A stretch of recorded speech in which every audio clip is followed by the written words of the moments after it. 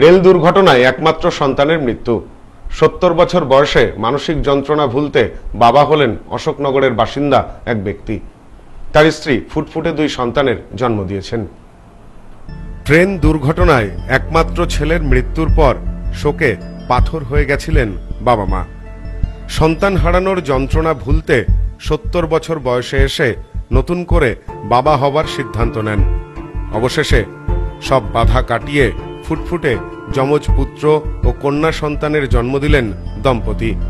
সন্তানদের নিয়ে এদিন বাড়িতে ফিরতেই উলুধ্বনি দিয়ে শাঁখ বাজিয়ে নবজাতকদের বরণ করলেন স্থানীয়রা। উত্তর চব্বিশ পরগনার অশোকনগরের কাকপুল এলাকার বাসিন্দা সত্তর বছর বয়সী তপন দত্ত, স্ত্রী রূপা দত্ত। দু হাজার উনিশ সালের জুলাই মাসে রেল দুর্ঘটনায় মৃত্যু হয় তাদের একমাত্র ছেলে অনিন্দ দত্তের। এরপর থেকেই কার্যত অসহায় হয়ে পড়েন দম্পতি। একাকিত্ব ও মানসিক যন্ত্রণা কুড়ে কুড়ে খেতে থাকে। সে সময় নতুন করে বাঁচার স্বপ্ন দেখেন তারা। সিদ্ধান্ত নেন নতুন করে সন্তানের মুখ দেখবেন। কিন্তু প্রতিকূলতা ছিল অনেক। প্রথমত বাধা হয়ে দাঁড়ায় শারীরিক বয়সজনিত কারণ, তার ওপর সমাজ, লোকলজ্জা। কীভাবে নেবেন সাধারণ মানুষ? এই সব কিছুকেই দূরে সরিয়ে দম্পতি সিদ্ধান্ত নেন নতুন সন্তান ধারণের। সেই মতো যোগাযোগ করেন প্রসূতি রোগ বিশেষজ্ঞ চিকিৎসকের সাথে। ঠিক করে এক্সপ্লেন করার মানে ভাষা নেই। তবে আজকের দিনটা সত্যি খুব আনন্দের। আজকে নতুন দুজন সদস্য আমাদের বাড়িতে আসলো এবং এই নতুন দুজন সদস্যকে যতটা সম্ভব আনন্দের সাথে আমরা যতটা পেরেছি অ্যারেঞ্জমেন্ট করে আমরা ওয়েলকাম করেছি। আমাদের মানে আমাদের এক্সপেকটেশন ছিল না যে আমাদের সদস্য আরও দুজন বাড়বে। আমাদের এক্সপেকটেশন ছিল যে ঠিক আছে, একজন হয়তো আসবে, সেখানে দুজন, একটা উপরই পাওনা। তো খুবই আনন্দিত। গর্ভধারণ করার পর একাধিক শারীরিক অসুবিধার মধ্যেও পড়তে হয় মা রূপা দত্তকে। যে চিকিৎসক প্রথমে দেখেছিলেন শারীরিক অসুবিধার কারণে তিনিও পিছিয়ে যান। কিন্তু হাল ছাড়ার পাত্র নন প্রাক্তন রাজ্য পুলিশের কর্মী তপনবাবু। যোগাযোগ করেন কলকাতার একটি বেসরকারি হাসপাতালে।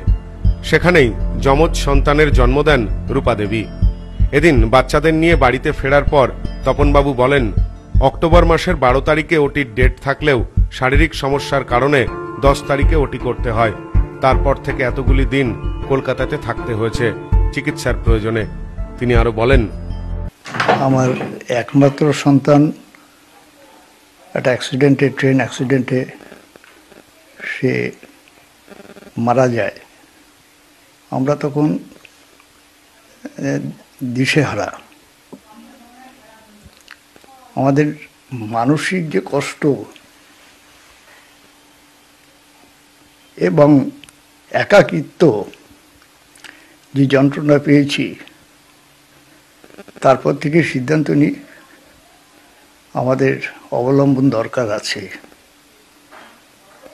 তখনই কলকাতার বহু ডাক্তারের সাথে অ্যাটেন্ড করেছি।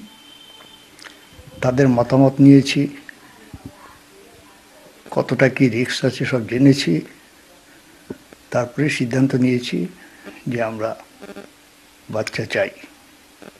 আমাদের সন্তান ছেলেই হোক বা মেয়ে হোক, আমাদের পাশে এসে দাঁড়াক।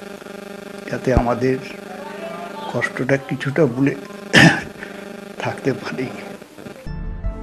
বুধবার রাতে সন্তানদের নিয়ে বাড়িতে ফেরেন তিনি। এলাকায় ফিরতেই স্থানীয়রা নবজাতকদের স্বাগত জানাতে অভূতপূর্ব আয়োজন করেছিলেন। বাড়ির সামনের গোটা রাস্তা সেজে উঠেছিল ফুল ও বেলুন দিয়ে। গাড়ি থেকে নামতেই শাঁখ বাজিয়ে, উলুধ্বনি দিয়ে নতুন সদস্যদের কোলে তুলে নেন স্থানীয়রা। এদিন বাড়িতে বসে তপনবাবু বলেন, কিছুটা হলেও যন্ত্রণা থেকে রেহাই মিলবে। এলাকাবাসীর এই অভ্যর্থনায় তারা অভিভূত বলেও জানিয়েছেন তপনবাবু। আমার মনে হয় যে এই দুটো সন্তানকে কাছে দেখে আমি অনেকটা নিজেকে শান্ত করতে পারছি ওদের মুখের দিকে তাকিয়ে। এবং আজকে এই ব্যাপারটা আমি জানিয়েছি যে আমি কবে আসব। আমার দুই সন্তান একটি ছেলে একটি মেয়ে।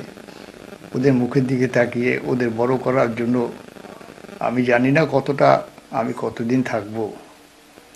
কিন্তু আমি চেষ্টা করে যাব। আমার ঈশ্বর যদি আমাকে শক্তি দেন আমি তাহলে চেষ্টা করব তাদের যতটা পারি তাদের এগিয়ে নিয়ে যাওয়ার জন্য। Bureau report news no man's land Ashoknagar. Nice education কমলপৈত্য প্রতিষ্ঠিত নাইস এডুকেশন। প্রাইমারি ও এসএসসি টেটের শেষ কথা।